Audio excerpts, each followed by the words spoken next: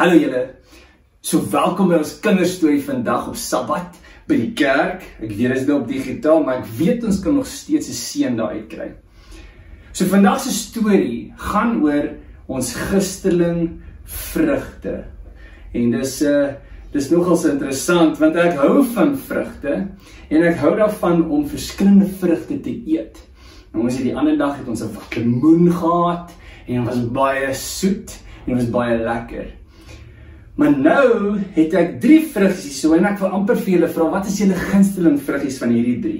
Sê julle piesang vat of 'n 'n dryftrossie, drywetrossietjie of wat van 'n suurlemoen?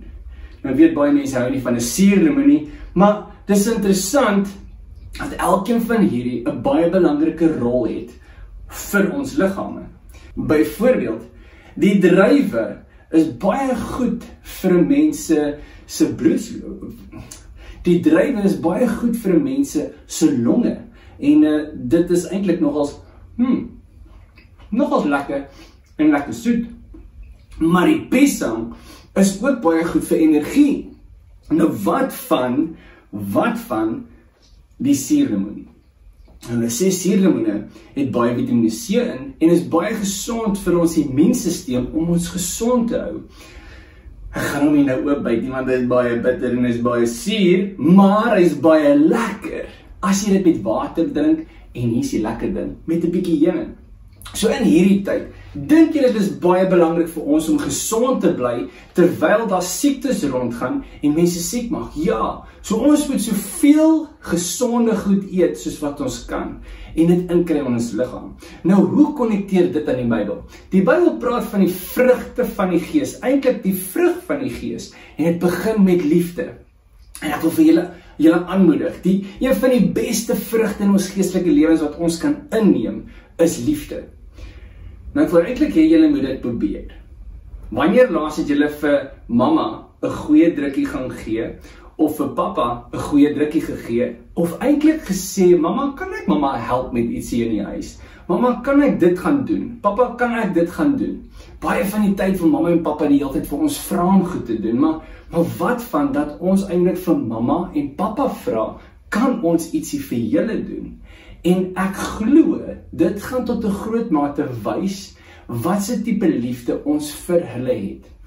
Of jy kan ietsie anders doen. Dalk skryf jy vir pappa of mamma 'n awesome briefie of teken vir hulle 'n awesome prentjie en onthou, dis ons geheim wat jy vir hulle gaan doen, okay? En weet julle wat's cool? Julle gaan wel die vrugte kan dra dat mamma en pappa van dit kan eet en dit is liefde. So laat ons laat ons onthou dat ons moet ons liefde deel met ander soos wat vrugte gesond is vir ons lewens want dit gaan ander mense gesond maak in hulle emosionele toestand. So Wat se vrug is jou gunsteling? Dalk is dit liefde, dalk is dit vrede, dalk is dit sagmoedigheid, of selfbeheersing. As jy nie weet wat hierdie goedjies is nie, vra mamma en pappa om eintlik vir jou dit te verduidelik. Maar onthou dat die vrugte wat ons dra, gaan ander mense seën in vandag se lewe. So geseënde Sabbat en mag ons mekaar gou weer sien. Putting God first can be difficult. In this video, we'll explore what we can learn from Abraham that will help us put God first in our lives today. Abram was 80 years old when he left his rich and prosperous home to travel into the desert. Sounds crazy, doesn't it?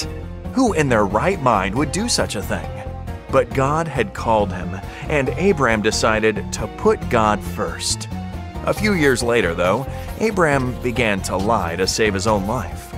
Why did Abram become so fearful that he stopped putting God first? The answer is time and connection. Having put God first yesterday does not automatically mean that you will put God first today. Unless we regularly surrender our life to Him by connecting with Him as the first thing every morning, we may stop trusting Him, leaving God in second place. Or worse. Some of us become disappointed with God because our lives didn't turn out as expected. When we don't achieve everything we aimed for, it's easy to return to our own desires and fears. Abraham had the courage to challenge God and demand his promises be fulfilled. After all, he was promised a land and descendants. In Genesis 15, he says, Lord God, what will you give me, seeing I go childless? And the heir of my house is Eliezer of Damascus. You know, sometimes we need to have some serious conversations with God. You don't have to remain silent if you have a few things to say to your Heavenly Father. Are you disappointed? Tell Him. Do you feel alone when He promised to be with you? Tell Him, as Abram did. So, God invited Abram to leave his tent and head towards a new direction. It was almost as if the Lord was telling him, Your tent ceiling isn't large enough to accommodate what I can do if you look upward and put God first. It was by accepting this promise that his name was changed to Abraham. And his desire to trust and put God first led to the first biblical reference to tithing. Abraham chose to put God first, and his example compels us to do the same. As we return the tithe and promise, we are challenged to put God first.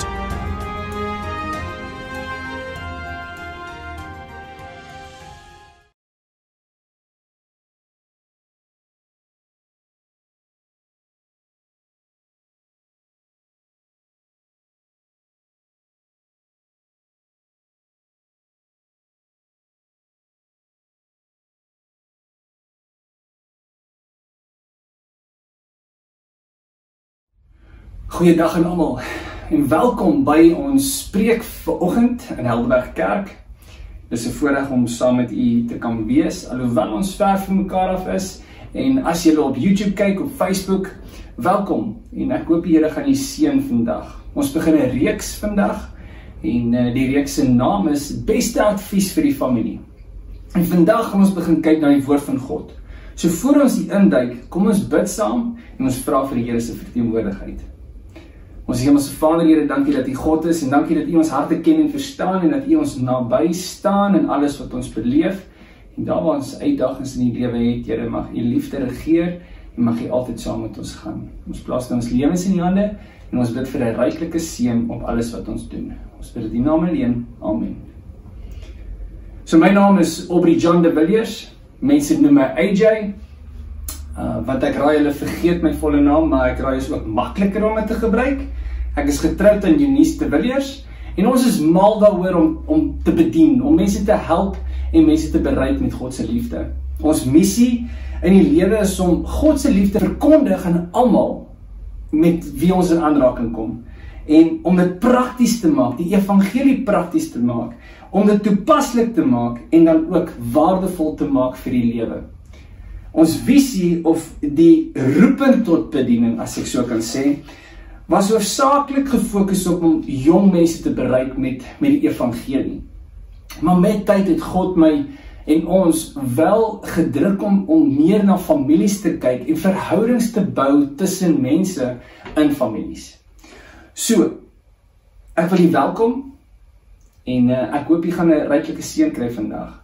Ons 'n paar uh, goedjies wat ek wel sal deel in die volgende paar preke van van wie ek is as mens en uh, ek is mal daaroor om om branderplank te ry. Ek is mal daaroor om met Lego te werk en kinderstories te maak met Lego. En dan my laaste punt wat ek wil deel, 'n stokperdjie van my is is om 'n baie boer te wees. En ons het 'n paar kaste en die Here seën ons om in die natuur te werk. Dis deel van familie, reg? Dis deel van om mekaar te leer ken en te verstaan. So as jy wel wil deel, deel gerus met my asseblief. Um, so hier gaan ons in vandag se se boodskap in en ons titel vandag is die Bybel en die familie. Nou Walt Mueller, hy hy ver, verduidelik in, in een van sy boeke en hy sê verandering kan op twee maniere benader word. As 'n bedreiging of as 'n geleentheid. Albei se keuse van ons af. Dis perspektief. As ons verandering sien as 'n bedreiging, dan gaan dit nie verander nie. En ons gaan eintlik vreesvol wees, maar as ons dit wel sien as 'n geleentheid, gaan dinge baie verander in ons lewens. So terwyl ons deur hierdie boodskappe gaan, mag u wel deur 'n verandering gaan en ek hoop en bid dit gaan nie 'n bedreiging wees vir u nie en dat u lewe sal aangeraak word deur die woord van God. vrae wat ons oor die Bybel kan dalk vra is is die Bybel nog toepaslik vir ons vandag? Is die Bybel 'n klomp sprokiesverhale? Stories wat nooit eintlik uh, gebeur het nie of nooit daar was nie. Het iemand dit uitgedink? Moet ek die Bybel bestudeer? Is dit belangrik vir my om die Bybel te bestudeer? Is die Bybel teenstrydig met um met die Bybel? vers vir vers. Is is hulle teenstrydig met mekaar. Kan ek die Bybel vertrou in dit wat gesê is? Wat is die fondasie van die Bybel? Hoekom moet ek die Bybel hê of moet hoekom moet ek 'n Bybel hê?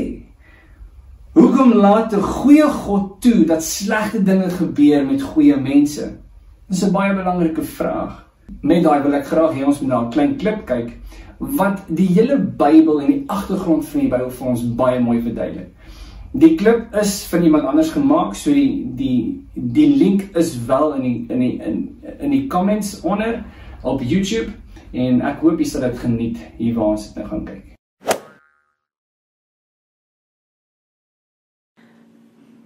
When you think of best-selling books, what titles come to mind? Perhaps The Lord of the Rings, It sold 150 million copies worldwide, which puts it in third place. A Tale of Two Cities has sold 200 million copies. That's good enough for second place, but it's still not the all time best. The number one best selling book in all of history is the Bible. In fact, the Bible has sold over 5 billion copies and has been translated into more than 2,000 languages. The history of the Bible and how it came to be the most widely distributed book in the world is a remarkable story. The drama begins in antiquity, many centuries before Christ. The scribes, priests, prophets, and poets of the Hebrew people kept a record of their history with God, along with their inspired insights and hopes. Because these writings were a vital part of Hebrew life, they were carefully copied and recopied many times. As time went on, these sacred writings were gathered into three collections known as the Law, the Prophets, and the Writings. Eventually, these three collections came to be considered the canon, or official list, of the Hebrew Bible. However, when Alexander the Great and his successors conquered the ancient world, Greek became the common language of the people. So, in the 3rd century BCE, the Hebrew scriptures were translated into Greek for Jews and others living outside of Palestine. This Greek translation was called the Septuagint. It contained all the books of the Hebrew Bible, plus an extra seven books not originally in the Hebrew collection, called the Apocrypha. This was the Bible used by Jesus and the early church. Greek remained the common language for hundreds of years, so when the early Christians recorded the life of Jesus and the teachings of the Christian faith, they also wrote in Greek. The earliest writings of the New Testament are the letters of the Apostle Paul. He wrote to people in specific places, but other believers also wanted copies of Paul's teachings, so his letters began to circulate. The Gospels soon followed, as well as other letters, exhortations, sermons, and writings. Eventually, guided by the Spirit of God, the Church put together a collection that most accurately testified to Jesus Christ. By the end of the 4th century, church councils reached a consensus, and the canon of the New Testament was officially recognized. Also in the 4th century, the Emperor Constantine authorized the creation of 50 copies of the complete scriptures, and possibly for the first time, the Old and the New Testaments came together as one book. Almost as soon as the Bible was formed, scholars began translating it into other languages for Christians living in other parts of the world. It was important to the early church that as many people as possible had access to the scriptures. The most significant translation of the early church was a Latin version called the Vulgate.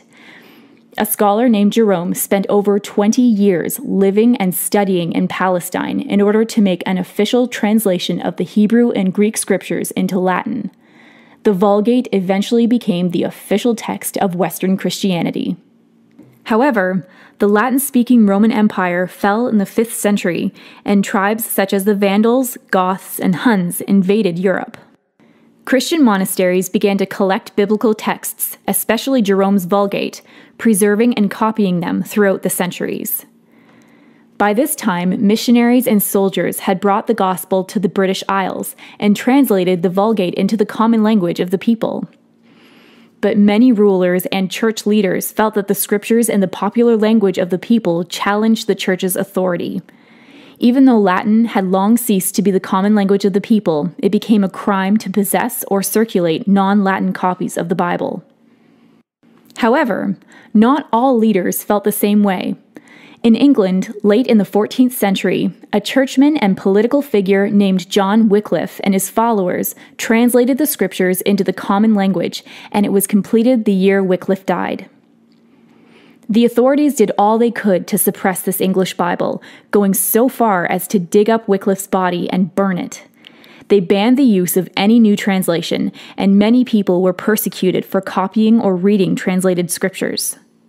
In spite of this, the English people hungered to hear the biblical story in their own language. But copies of the Bible had to be made by hand, so complete Bibles were scarce and very expensive, until a printing breakthrough occurred in the middle of the 15th century.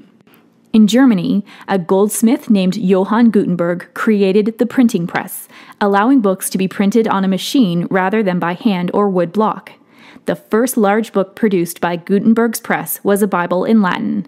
However, by the middle of the 16th century, the Latin Bible had been translated and printed into 14 other languages. It was around this time that a young scholar from England named William Tyndale came upon the scene. Sometimes called the father of the English Bible, Tyndale believed that people had the right to read and hear the scriptures in their own language. He eventually went to Germany, where he translated the New Testament from Greek into English, and it became the first printed English New Testament. Copies were smuggled into England and secretly purchased and read. Even though readers and owners were arrested, the scriptures kept flowing in. Tyndale went to Antwerp to work on a translation of the Old Testament, but before he had completed this work, he was betrayed, arrested, condemned a heretic, and publicly executed. His last words reportedly were, Lord, open the King of England's eyes. Tyndale's prayer was answered three years later. The first authorized Bible in the English language, called the Great Bible, was published as a result of King Henry VIII's injunction that an English Bible be placed in every parish. People flocked to the churches to listen to the reading of the scriptures in their own language. Early in the 17th century, King James I authorized a new translation of the scriptures. This translation, known as the Authorized or King James Version, is still read today, but it was only the beginning of English Bible translation. Since the Tyndale Bible, there have been close to 900 English translations or paraphrases of the Bible. This, coupled with versions in 2,000 other languages, makes the Bible the most read, most translated, and best selling book in history. The fact that virtually anyone on earth can have the scriptures in their own language is due to the perseverance and sacrifice of those who never wavered from the belief that the Bible should be available to anyone who wishes to read it. However, that does not mean that every person on earth has open access to the scriptures. In some areas of the world today, the Bible continues to be seen as a revolutionary and dangerous book, and its publication or distribution is either highly monitored or banned outright. Many people can face persecution, imprisonment, or death for owning or teaching from the Bible. Perhaps you wonder why this book is so popular that people would risk their lives to obtain one. Those who do so believe that the Bible is more than simply a collection of stories or a book of history. They understand it to be the very Word of God, revealing His love, encouragement, and instruction to humanity.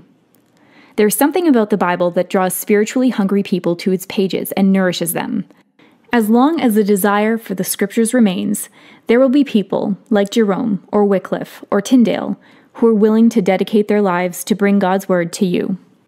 To obtain your own detailed copy of the Bible Explored, A Short History, or your own Bible, please contact the Canadian Bible Society at www.biblesociety.ca.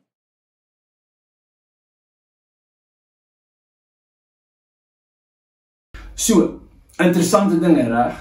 Die Bybel, 1500 jaar deur plus minus 40 skrywers geskryf en almal praat oor dieselfde konsep. Dit is een van die grootste dinge wat ons kan aanvaar van die Bybel, dat dit waar is en dat dit kom al jare en dat God dit geïnspireer het om vir ons te gee om ons lewens aan te raak. So, kom ons duikie in. Die woord van God. Wat is die woord van God? Die woord van God sê ons meeste van die tyd is die Bybel. En die Bybel spreek vir ons die woorde van God. Nou, dis heeltemal reg, maar hierdie is nie die skrif van die Here. Die woord van God kan ook gesien word as iemand wie ons werklik waar kan ken en elke dag 'n verhouding kan meebou. Kom ons kyk wat sê die Bybel hieroor. Hebreërs 4 vers 12. Hoor wat sê dit. Want die woord van God is lewendig en kragtig en skerper as enige tweesnydende swaard en bring deur tot die skeiding van siel en gees en van gewrigte en murg en is 'n beoordelaar van die oorlegginge en gedagtes van die hart. So in ander woorde, die woord van God spreek elke aspek van jou lewe aan, emosioneel, geestelik en fisies. Dit help ons in die die uitdagings wat ons beleef te gaan en dit gee vir ons advies van hoe om ons keuses reg te maak in hierdie aspekte van ons lewens. Weereens, skeiding van siel en gees, gewrigte en murg en dan gedagtes van die hart. En ons moet hierdie ag neem as dit by die woord van God kom. So die fondasie wat ons wel wil skep is dat die woord van God spreek alles aan waarmee ons eintlik deur die lewe gaan. Ons moet dit deel maak van ons lewens. Psalm 119, die langste psalm in die Bybel, verduidelik vir ons meer oor die diepte van die woord. Dit gee vir ons aspekte, elke liewe aspek van die woord. 176 versies spreek en praat oor die woord van God. Maar hoor wat sê hierdie skrywer Whisper in uh, CO Cooking Communications Ministries. Die boek Be Exalted that say the emphasis in this, the longest psalm, is on the vital ministry of the Word of God to the inner, inner spiritual life of God's children. It describes how the Word enables us to grow in holiness and handle the persecutions and pressures that always accompany an obedient walk of faith. Is dit nie belangrik dat ons die woord van God moet bestudeer sodat ons deur die ervarings van die lewe kan gaan, deur ons uitdagings, ons strewelinge en daarmee waarmee ons sukkel elke dag? Is die Bybel en is die woord van God nie belangrik vir ons nie? Dit is verseker, dit help ons om deur ons stappie van geloof ordentlik deur te gaan. Gaan daar uitdagings wees? Ja, verseker. Gaan daar uitdagings in my persoonlike lewe wees? Ja. In my familie? Ja. In my gemeenskap? Ja, definitief. Maar die Bybel en kom ons vat dit 'n stappie verder. Die woord van God gaan vir my raad gee en vir my lei om die regte besluite te maak in die lewe. Nou hier sit dit. Die woord van God gee vir ons baie goeie raad en leiding van hoe om dinge te hanteer in die lewe. En dit het 'n impak op ons lewe. nou die grootste vraag is watse impak het die woord van God op ons lewens? Kom ons kyk gerus na die woord. En dit is dan die skrif. Johannes 1 vers 1 en 2, dit sê die volgende: In die begin van die was die woord en die woord was by God en die woord was God. Hy was in die begin by God. En hy gaan aan en in vers 14 en 15 deur tot 18 dit sê die volgende en die woord het vlees geword en het onder ons gewoon en ons het sy heerlikheid aanskou. 'n heerlikheid soos van die enige geborene wat van die Vader kom vol van genade en waarheid. Johannes getuig van hom en roep en sê dit was hy van wie ek gesê het hy wat na my kom het voor my geword want hy was eerder as ek. En uit sy volheid het ons almal ontvang, ja, genade op genade, want die wet is deur Moses gegee, die genade van waarheid het deur Jesus Christus gekom. Niemand het ooit God gesien nie, die enige gebore seun wat in die boesem van die Vader is, die het hom verklaar. So hier is die ding, die woord van God was in die begin by God. Die woord van God het gespreek en dit het gebeur.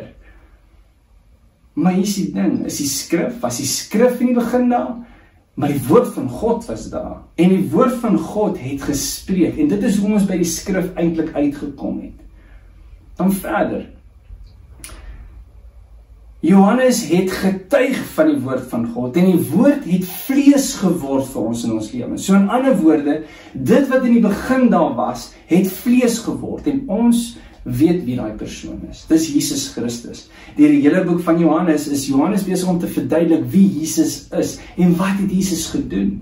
Dis belangrik vir ons om dit aan te neem en te besef dat God Wel, Jesus is omdat hy in die begin was en hy was by God en hy was God.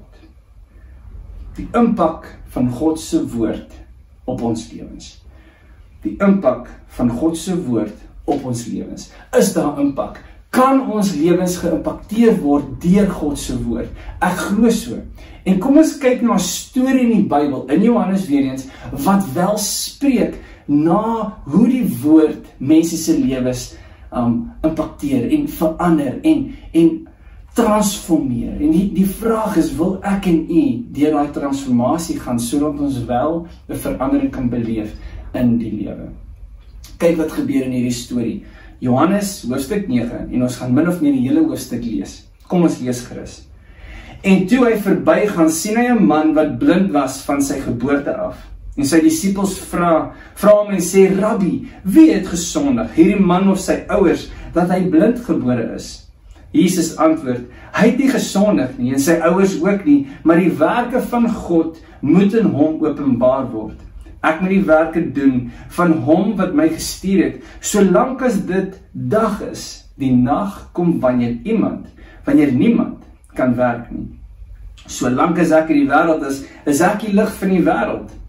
En toe hy dit gesê het, spuug hy op die grond en maak klei van die spuug en smeer die klei aan die oë van die blinde man. En sê vir hom: gaan was jou in die badwater Siloam wat vertaal word uitgestuur. En hy het gegaan en hom gewas en hy het siende teruggekom. Die bure dan en die wat hom vroeër gesien het dat hy blind was sê toe is hy nie die een wat gesit en gebedel het nie? Ander sê dit is hy ander weer hy lyk na hom. Hy antwoord dit is ek. Hulle sê vir hom hoe is jou oë geopen Hy antwoord en sê die man wat Jesus genoem word, het klei gemaak en op my oë gesmeer en vir my gesê: "Gaan na die badwater Siloam en was jou." En ek het gegaan en my gewas en ek sien. En hulle sê vir hom: "Waar is hy?" Hy antwoord: "Ek weet nie." Hulle bring hom na die Fariseërs, die man wat vroeër blind was, en dit was Sabbat toe Jesus die klei gemaak en sy oë geopen het. Die Fariseërs vra hom toe weer hoe hy siende geword het. En hy antwoord hulle: Hy het klei op my oë gesit en ek het my gewas en ek sien. En sommige van die Fariseërs sê: Hierdie man kom nie van God nie, omdat hy die Sabbat nie hou nie. Ander sê: Hoe kan 'n sondige mens sulke tekens doen? En daar was verdeeldheid onder hulle weer sê hulle vir die blinde man jy wat sê jy van hom aangesien hy jou wil geopen het. En hy antwoord hy is 'n profeet. En die Jode het dit nie van hom geglo dat hy blind was en siende geword het nie totdat hulle die ouers geroep het van hom wat siende geword het. En hulle vra hulle sê is dit julle seun wie julle sê dat hy blind gebore is Hoe sien hy dan nou? Sy ouers antwoord hulle en sê: "Ons weet dat hy ons seun is en dat hy blind gebore is, maar hoe hy nou sien, weet ons nie. Of wie sy oë geopen het, weet ons nie. Hy is self oud genoeg. Vra hom. Hy sal vir homself praat." Dit het sy ouers gesê omdat hulle bang was vir die Jode, want die Jode het al oor eengekom dat as iemand hom as die Christus bely, hy uit die sinagoge geban sou word. Daarom het sy ouers gesê hy is oud genoeg, vra hom. Hulle roep toe vir die tweede keer die man wat blind was en sê vir hom: "Gee aan God die eer. Ons weet dat hierdie man 'n sondaar is." En hy antwoord en sê: "Of hy 'n sondaar is, weet ek nie. Een ding weet ek, dat ek blind was en nou sien." En hulle sê weer vir hom: "Wat het hy vir jou gedoen? Hoe het hy jou oë geopen?" Hy antwoord hulle: "Ek het julle dit al reeds gesê en julle het nie geluister nie. Waarom wil julle dit weer hoor? Julle wil tog nie ook disippels word nie." Hulle skel hom toe uit en sê: "Jy is 'n disipel van die, van daardie man, maar ons is disippels van Moses. Ons weet dat God met Moses gespreek het, maar wat hom betref, Ons weet nie van waar hy is nie. Die man antwoord en sê vir hulle: Hierin is tog iets wonderliks dat julle nie weet van waar hy is nie. En hy het my oë geopen. En ons weet dat God nie sondaars verhoor nie, maar as iemand Godvreesend is en sy wil doen, die verhoor hy. Van ouds af is dit nie gehoor dat iemand die oë van 'n blindgebore mens geopen het nie. En as as hy nie van God was nie, sou hy niks kan doen nie. Hulle antwoord en sê vir hom: "Jy's heeltemal in sondes gebore en leer jy ons?" en hulle het hom uitgeban.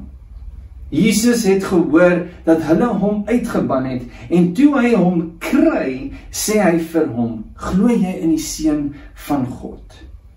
Hy antwoord en sê: "Wie is hy, Here? Dat ek in hom kan glo." En Jesus sê vir hom: "Hy het jy het hom gesien. En hy wat met jou spreek, dit is hy." Toe sê hy: "Ek glo, Here," en hy het hom aanbid. Jesus sê toe tot 'n oordeel het ek in hierdie wêreld gekom. Sodat die wat nie sien nie mag sien en die wat sien blind mag word. En die van die fariseërs wat by hom was het dit gehoor en vir hom gesê is ons dan ook blind? Jesus antwoord hulle as julle blind was sou julle geen sonde hê nie, maar nou sê julle, ons sien, daarom bly julle sonde. So is die storie. 'n Blinde man bedel. Jesus kom in en hy maak modder en hy sit dit op die oë van die blinde man. Nou ons moet besef dat hierdie blinde man wel 'n familie het. Hierdie blinde man was elke dag op dieselfde plek om te bedel om God om geld te kry sodat hy hierdie dag kan kom. Mense het hom gesien. Die gemeenskap het geweet wie hierdie man was want hy was blind van jongs af, van geboorte af. Waar sy familie was, dit weet ek nie. Maar die interessante ding was Jesus kom in, hy maak modder en hy sit dit op die oë. Die man gaan in geloof en hy gaan was sy oë skoon. Toe hy sy oë skoon was, kon hy sien. Die uitdaging met dit is dat die die die gemeenskap wou nie dit glo nie of hulle wel dit geglo het maar seker is was baie skepties en gesê dalk was hy nooit blind nie. Toe vat hulle hom na die fariseërs toe en die fariseërs ondervraag hierdie man en hulle bring sy ouers in en hulle wil weet wie is Jesus? Waar is hy? Want hy hy het werk gedoen op die Sabbat deur modder te maak skrikwekkend dat ons tot so so eh, 'n uh, laagte sal daal om te sê dat as jy modder bymekaar sit is dit sonde. Dat ek iemand dat die Here iemand sal genees en dis sonde. Sy ouers word ook genavraag en hulle sê hulle weet nie hoe hierdie jong man sy sig weer gekry het nie Hulle moet maar weer vir die jong man vra en die jong man bly by sy storie. Hy getuig oor wat gebeur en die Here het wel sy lewe verander om hom te laat kan sien. Deur sy geloof om na die bad toe te gaan en sy hele lewe verander, maar nie net sy lewe nie, sy familie se lewe was heeltemal verander want hulle het 'n 'n wonderwerk gesien en hulle moes besef dat 'n wonderwerk gedoen was, maar nie net hulle lewens nie, maar die gemeenskap se lewens. Mense om hom, mense wat vir hom geld gegee het, mense wat dinge vir hom gedoen het, het hulle lewens eintlik verander deur hierdie aksie om hierdie blinde man te laat sien. So hier is die vraag: Wat is die impak van God se woord op die blinde man se lewe? Sy hele lewe was verander om daar te sit elke dag te bedel. Jesus kom in en hy spreek en hy sê gaan was. Die woord van God, want onthou, Jesus is die woord van God. Jesus is die woord wat spreek en ons lewens verander. En verder, wat is die impak van die blinde man of die woord op die blinde man se gesin? Die gesin, die ouers wou nie juis heeltemal ondersteun nie want hulle verstaan nie hoe hierdie goed kon gebeur het nie. Hulle was bang hulle sou verban gewees het van die sinagoge af. So hulle sal liewers by hulle self staan as wat hulle by hulle kind sal staan wat nou heeltemal genees is in die lewe. Verder, wat is die impak van die woord op die gemeenskap? En en dit vir my is indrukwekkend want mense het hom gesien langs die pad sit en nou kan hy sien. Hulle herken hom. Hy gaan na die fariseërs toe en daar was baie fariseërs en hy hy los 'n impak op hulle lewens deur die woord wat God eintlik gespreek het om hom te laat sien begin hy getuig van wat Jesus vir hom gedoen het hoe Jesus sy lewe aangeraak het hoe Jesus sy lewe verander het en die fariseërs wou nie dit aanvaar nie die fariseërs wou blind bly in hulle sonde wou blind bly in dit wat hulle vasgehou het En Jesus kom op die einde en hy verduidelik dat die wie dink hulle kan sien, hy het gekom om hulle blind te maak. Die wie dink of weet hulle kan nie sien en dat hulle blind is, het hy gekom om hulle eintlik te laat sien. Dames en here, ons ons sit met 'n struikeling in ons lewens, met 'n worsteling in ons lewens dat ons wil sien, maar ons dink ons sien. En ons wil eintlik die regte ding in die lewens doen, maar ons sukkel om daar uit te kom. Hoe gaan ons dit doen? Kan God se woord mense se lewens vandag verander? En ek glo God se woord kan dit werklik waar doen. Ons wil net seker maak ons bestudeer die skrif sodat ons die woord kan leer ken, sodat ons kan verstaan hoe om vorentoe te gaan. My uitdaging vir u is dat u sal 'n besluit maak om die woord van die Here te leer ken op 'n daaglikse basis om te besef dat God elke liewe dag daar is. En my vraag nou is, wat is u begeerte? Wat is die grootste begeerte in u lewe? Wil u wil u 'n gesonde huwelik hê? Wil u 'n gesonde familie hê? Wil u 'n gesonde gemeenskap hê? As ek na vandag se lewe kyk, ek soek dit. En ek glo die die eerste stapie vir ons om dit reg te doen is om na die Here toe te gaan en te sê Here, hier is ek. Vergewe my my sondes. Help my om werklik waar U te leer ken as die woord van God.